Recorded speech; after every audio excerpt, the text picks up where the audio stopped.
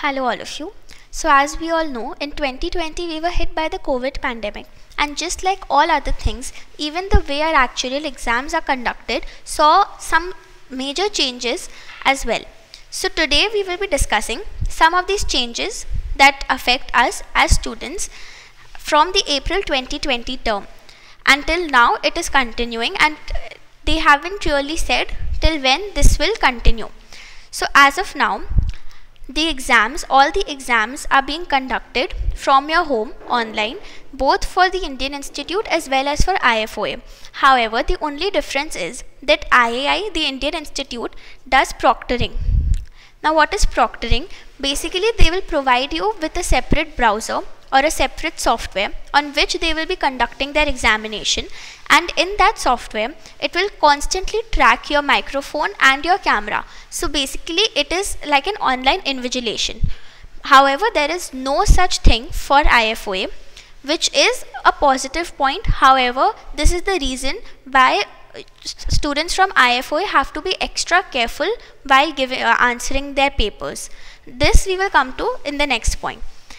So one positive thing for IFOA again is that it is an open book exam. However, for IAI, this is not the case, which means IAI students have to prepare for their exams in the same way as they used to do it before the COVID, uh, before the COVID era. But for IFOA students, even though it is an open book exam, they have to be very careful that proper referencing is given every time they refer to the material. So most of the actuarial papers, they are practical in nature and there are a very few theory questions involved that are directly from the book. Even when it was offline, this was the case. So even though open book is not such a great thing, it does uh, help you become more confident but be sure that you are giving proper referencing we have a different video on the referencing for IFOA and IAI students. However, just to remind you all, referencing is when you're referring to the book for let's say an answer or a formula. Even if it's for a formula, if you're referring to the tables book even, here you have to mention in your answer script that this has been taken or you can just write reference and then you have to write the uh, subject name of course let's say CM1 where you are taking the reference from let's say we are taking it from the study material published by Acted CMP 2019 edition the chapter number and the page number. Other details specific to some questions they have been addressed in a different video but as of now this is important especially for the IFO students because constantly every term students are getting mails for plagiarism for collusion. So you have to be crystal clear and 100% transparent while answering your paper. Okay? One very important thing even though many of us expected it maybe but there is absolutely no change or reduction in the syllabus for any of the papers. Of course every term they do make some amends. They do uh, change the order of chapters or some of the content but that is something completely uh, unrelated to the pandemic. It is something which they do it as a regular practice. So no, there is no reduction in the syllabus it is completely the same so that you all do not have to worry about one important change is the time given for answering the paper. So when it was offline, we used to get 15 minutes as reading time and then 3 hours to write our papers. This is for the most of the papers. Of course, for some papers, the timings were a little different, but the general thing was 3 hours writing time and 15 minutes reading time. Since the COVID pandemic, now that the exams are conducted online, this 3 hours and 15 minutes are clubbed together and you get an overall 3 hours 15 minutes which includes the reading and writing time. It basically means that now they are not demarcating your time from before.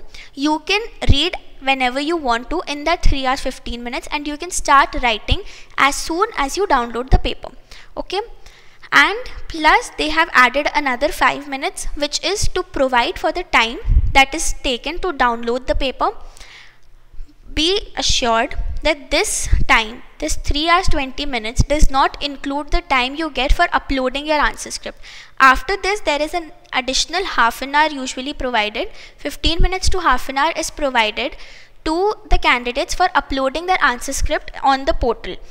But these 15 to 30 minutes are strictly not for writing. 3 hours 20 minutes is when the bell should ring in your ears that you have to stop typing immediately. Be very careful about this because uh, for all now that it's online, of course you all know that edits can be tracked very easily. So if you are starting to type before the paper is downloaded, which means before the exam has started, if you start typing, even if you type your name or give the header, footer, etc., even if you do all this, still the time that your document was created will show as before the exam began. So that is not a good thing. It is considered to be an unfair mean. So make sure that you download the paper and only after that you will open the MS Word application and only after that will you type absolutely anything in your answer script. Same goes for the last edit time. Last edit time is when the last change was made to your Word document that you are uploading. Word document or Excel document, whatever, whatever uh, is for your paper. So now how do we ensure that before as soon as your 3 hours 20 minutes ends make sure that you close your word file. Cross it because in case your space bar is pressed or any key is pressed your last edit time will change immediately. So it's always better that you save your work and then you cross it. Only after that you open the portal to upload your answer script finally. Alright so very very important. Now where is the exam conducted? For the IFOA for the uh, IFOA, the uh, exams are conducted primarily on MS Word, MS Excel and R. MS Excel and R, just like offline exams, it's the same for paper B exams. You have to give it in MS Excel or R, depending on the paper. And the paper A, which is the usually the written papers, those papers are to be answered in MS Word application. Only for IAI, only for IAI the difference is that the CB series, CB1, CB2, CP3, these three papers are not conducted on MS Word but on the text editor. Why the text editor? Because these three papers are papers which involve only, uh, I would say only alphabets. They do not really require much of equations and numbers etc. So those papers which require equations, numbers etc. are conducted on MS Word for example CM1, CS1. However, for these three papers it's the text editor. You all don't have to worry where will we get the text editor. It is there in their own browser which they will be providing you. So no worries over there and the entire technical details are made in a separate video the link to which we will attach in the comment section below. So now, of course, now that it's online, it's home based, things are different, especially for IFO students, it's an open book exam. So naturally, the questions that they are asking and how they are asking has changed. Another reason why they had to bring in some changes in their pattern of asking questions was because now that you have to type your answers on MS Word, so of course there is an additional effort they have to provide for. Because of this, questions are not very straightforward. They are more analytical, more, uh, more sort of commenting, uh, analyzing, explaining, discussing. These sort of questions will be asked which test your concepts and as for the algebraic portions which require a lot of uh, intense typing on MS Word, some papers they change it to MCQs or they have increased the marks uh, allotted to such questions. So don't think that um, because it's uh, online on MS Word or anything, you will have to, you will face problems. You will not, provided that you practice enough. You all should start practicing on MS Word at least two and a half to three months before your examination so that by the time you sit to write the final examination you are well equipped with the entire new setup and even though they are giving extra marks you can do well and finish your paper in the stipulated time. Two more important changes that are not directly related to covid. However they are they came about in the similar time period. One is the way of checking results. Earlier a public list used to be published by the institutes where you could uh, search for your name and find out if you had cleared or not. For IAI, a list is still published, but for IFOA, the list is not published anymore. How do you check your results? You have to go to their website www.actuaries.org.co.uk and then you can you have to log in using your ARN and password after which you go to the my exam section and in the my exam section you will get an option or a key as uh, download exam letters so the exam letter is actually your certificate for passing the exam. And only in that section will you be able to download your exam letter at the time of publishing results.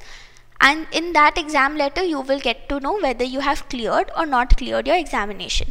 No more list is published. So be sure that when the time for results comes you have logged in to the website and you are ready on that page where you can check your result another thing is that from 2021 there is no exemption allowed from IFOA to IAI and IAI to IFOA up to 2021 the students who had cleared their papers they can take the exemption and we have a separate video for that as well where we have explained the entire technicalities and methods and constraints for taking exemption in either of the institutes.